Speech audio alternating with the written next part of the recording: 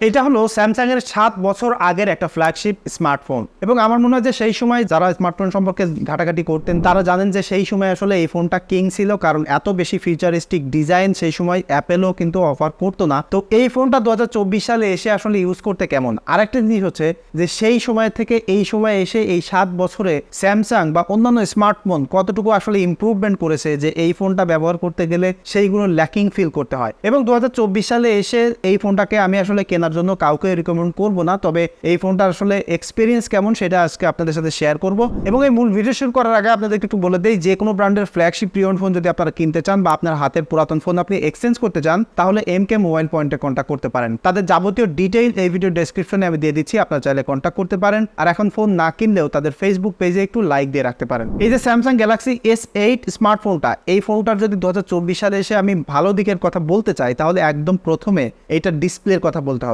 এইটার ফ্রন্টে আপনি ফাইভ পয়েন্ট এইট ইঞ্চির একটা ডিসপ্লে দেখতে পাচ্ছেন। এটা কিন্তু দেখেন কার্ভ ডিসপ্লে এবং এইটা একটা super AMOLED display believe me দু হাজার চব্বিশ সালে এসে সাত বছর আগের এই পুরাতন ডিসপ্লেটা এখনও কোনো ব্যাকডেটেড মনে হয় না। এত সুন্দর কালার এবং এত সুন্দর ভিউইং এক্সপিরিয়েন্স এটাই দেয় আই বিলিভ যে ডিসপ্লে সেকশনে কোনো প্রকার ইম্প্রুভমেন্টের দরকার নাই। এই ফোনটা এখনও যদি মানে কোনো কেউ মার্কেটে আনে এরকম ডিসপ্লে দিয়ে স্টিল সেটা ইজিলি ইউজ করা যাবে, কোনো কমপ্লেন হবে না। এবং এই ডিসপ্লের উপরে যে প্রোটেকশন সেটাও কিন্তু গরিলা গ্লাস ফাইভের প্রোটেকশন ইভেন এটার ব্যাক সাইডে যে গ্লাসটা দেখতে পাচ্ছেন না, এটাও কিন্তু গরিলা গ্লাস ফাইভের সো এখন কিন্তু অনেক স্মার্টফোন লঞ্চ করতেছে, তারা গরিলা গ্লাস ফাইভ দিয়ে। সো দু হাজার সতেরো সালের ফোনেও গরিলা গ্লাস ফাইভ তারা কিন্তু ব্যবহার করেছিল।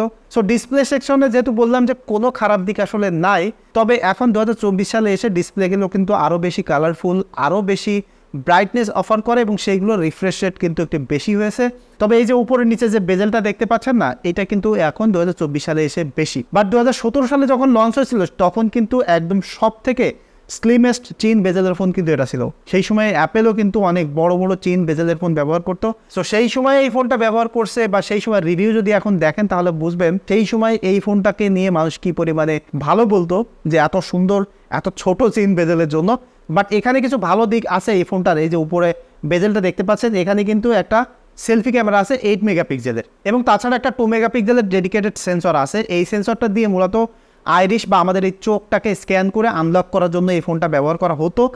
এই ফোনটাতে মূলত ফেস স্ক্যান এবং আইরিশ স্ক্যান দুইটাই আছে বাট সেই দুইটা স্ক্যান কোনোটা আসলে আমি এখন ব্যবহার করে আসলে খুব বেশি রিলায়েবল বা ফাস্ট মনে হয়নি বাট সেই সময় কিন্তু এটা খুব রেভলিউশনের একটা ফিচার ছিল বাট পরে স্যামসাং আসলে এটা ডিসকন্টিনিউ করেছে, আইরিশ স্ক্যানার কিন্তু এখন আর নাই, এবং তাছাড়া এখানে একটা নোটিফিকেশন এলইডি আছে, এইটা আমার কাছে এখনও ভেরি ইউজফুল একটা জিনিস মনে হয় চার্জ দিতে গেলে বা কোনো নোটিফিকেশন আসলে এই লাইটটা জ্বলে।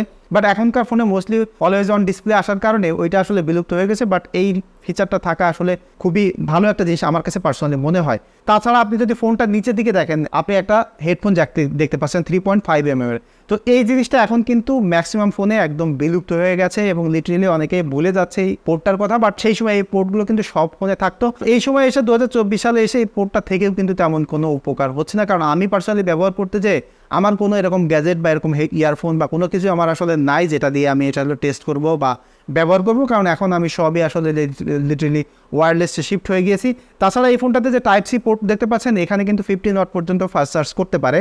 সো দু হাজার সতেরো সালে তখন টাইপ সি ব্যবহার করতো এবং সেই সময় আসলে ফাস্ট চার্জ ছিল সো এটা খুবই ভালো একটা জিনিস। তাছাড়া এই ফোনটাতে হাইব্রিড সিম স্লট রয়েছে, অর্থাৎ আপনি চাইলে ডুয়াল সিম বা এখানে এসডি কার্ডও ব্যবহার করতে পারবেন। বাট এখনকার ফোনগুলোতে কিন্তু এসডি কার্ড ব্যবহার করার কোনো সুযোগ থাকে না।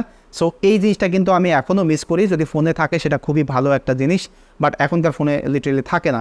তাছাড়া এই ফোনটা ডান সাইডে দেখলে এখানে আপনি পাওয়ার বাটন দেখতে পাবেন এবং বাম সাইডে এখানে উপরে ভলিউম বাটন আর নিচে এখানে একটা বিক্স বি বাটন সো এই বাটনটা মূলত ভয়েস অ্যাসিস্ট্যান্টের জন্য ছিল। তাছাড়া এটা চাইলে কাস্টমাইজ করা যায়। ফোনটা যে ব্যাক সাইডে দেখেন, এখানে আপনি একটা ফিঙ্গারপ্রিন্ট দেখতে পাচ্ছেন। সো এই ফোনটাতে আনলক করার জন্য আইরিশ ফেস স্ক্যানার এবং এখানে ফিঙ্গারপ্রিন্ট রয়েছে। সো এই ফিঙ্গারপ্রিন্টটা খুব বেশি আমার কাছে রিলায়েবল মনে হয়নি। তার কারণ হচ্ছে কি, এটা টাচ করলে সবসময় সে খোলে না এবং অনেক সময় মিস করে।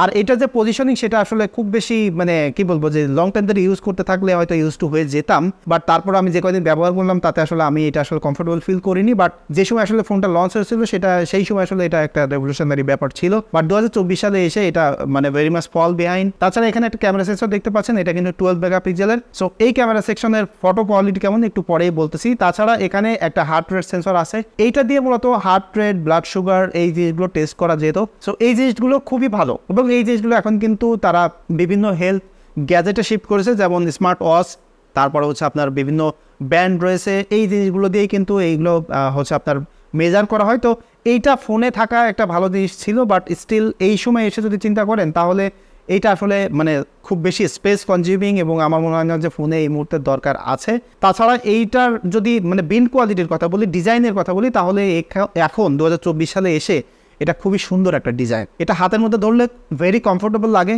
ছোট ফোন এবং এটার ডিজাইনটা এত সুন্দর, হাতের মধ্যে ধরতে না কোনো প্যারা হয় না। সাইডগুলো কার্ভ থাকার কারণে হ্যান্ড ফিনটা খুবই জোস পাওয়া যায়।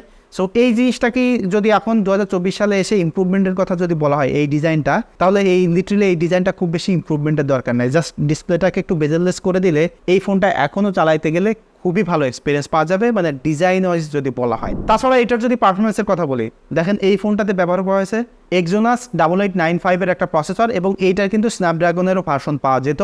সেটা ছিল এইট থার্টি ফাইভের একটা প্রসেসর তো এই প্রসেসরটা দিয়ে এখন এটা ব্যবহার করতে গেলে না, খুব বেশি স্লো আমার কাছে মনে হয়নি। দেখেন, এর আগে আমি অনেক ভিডিওতে বলেছি যে স্মার্টফোনের প্রসেসরগুলো এমন একটা ব্যাচির লেভেলে আছে যেখানে আসলে ইম্প্রুভমেন্টের দরকার হয় না। এই প্রসেসরগুলো যেটা দরকার, সেটা হচ্ছে বেটার ব্যাটারির এফিসিয়েন্সি দরকার আর একটু সফটওয়্যারের ভালো অপটিমাইজেশন দরকার। কারণ কি, দেখেন দু হাজার সতেরো সালের এটার যে প্রসেসর সাথে ফোর জিবি র্যাম রয়েছে এবং এটা কিন্তু অ্যান্ড্রয়েড নাইন চলতেছে।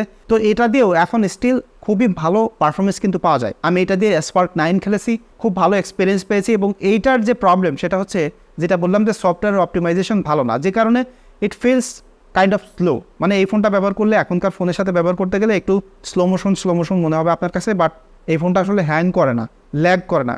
খুবই স্মুথলি চলে, তবে ব্যবহার করতে যে আরেকটা জিনিস প্যারা খেয়েছি সেটা হচ্ছে যে নেভিগেশন বাটনগুলো না, এখন তো জেস্টার ব্যবহার করে ইউজ হয়ে গেছে, যে কারণে এটা ব্যবহার করতে গেলে কষ্ট হয়েছে। সো সফটওয়্যার আসলে সব কিছু ঠিকঠাক আছে, তবে এইটার আসলে যেটা বললাম, একটু স্লো মোশন মনে হয়, তবে এই সময় এসে যদি এইটার মানে এই প্রসেসরটাকেই যদি অপটিমাইজ করা হয়, তাহলে আই বিলিভ এটা দিয়ে স্টিল খুব ভালো পারফরমেন্স পাওয়া সম্ভব।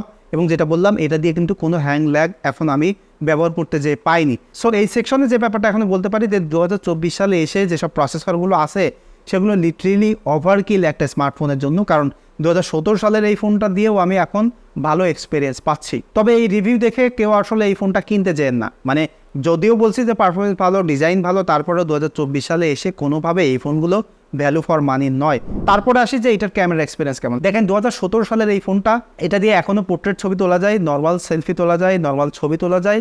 সো এইটার যে পিকচার কোয়ালিটি না এখন এখন এসে আসলে যদি আপনি ডে লাইটে ছবি তোলেন, তাহলে ঠিক আছে।